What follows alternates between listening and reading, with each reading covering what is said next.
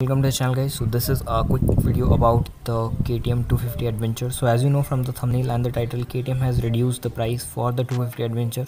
So earlier the price was 2 lakh 54900 now the price is 2 lakh 30000 so KTM has reduced 24900 for the 250 adventure. So this is the only bike where KTM has reduced the price. Rest all the bikes have got the price high. So if you're someone who is looking to start with the adventure motorcycle this is the right time to pick the 250 adventure. So the offer is valid only until 31st August. So the main reason of buying a 250 Adventure is that you are getting a full 390 Adventure body with a Duke 250 engine. So it has got a 248.8cc single cylinder liquid cool engine which produces 30 bhp of power and 24 newton meters of torque. So it has got a 6-speed gearbox and the bike also has got a dual channel ABS which is switchable which means that you can turn off the rear wheel ABS in case you go off-roading. So that is also known as a supermoto mode and one more advantage of getting a 250 adventure is that you are getting a bigger fuel tank which is of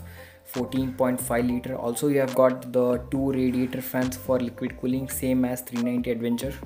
And talking about other features it has got a wp front and rear suspension. So suspension travel is same as 390 adventure and the seat height of the bike is 855 mm and the ground clearance is 200 mm so yeah this was all about this video. If you have any doubts or suggestions do comment down below. So thanks for watching. I'll catch you in my next video. Peace out